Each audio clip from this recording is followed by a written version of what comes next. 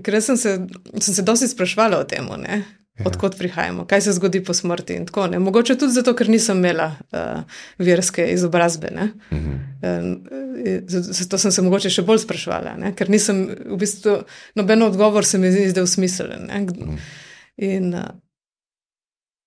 nekako, uh, potem, ko sem srečala ta koncept reinkarnacije, ne? Uh, se, meni osebno se mi je zdel edini logičen. Ne?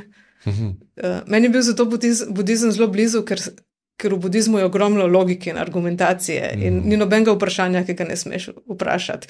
Vse je razloženo, zato ker je to, je potem to in potem to in potem to. In ni, uh, ni treba verjeti, ne. V Mhm. bistvu spodbujate, da se sprašuješ, da, Mhm. da greš čim bolj globoko, da res pogledaš, a je tako ali ni tako. Ne?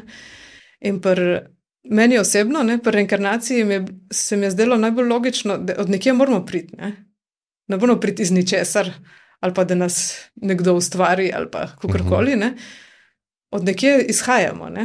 Mhm. Se, se- mi je zdelo skoraj nemogoče, da, da, da ne bi bilo nič, pred, pred, preden sem prišla na ta svet za reči. Mhm. Tako, ko, zakaj ne? Kako?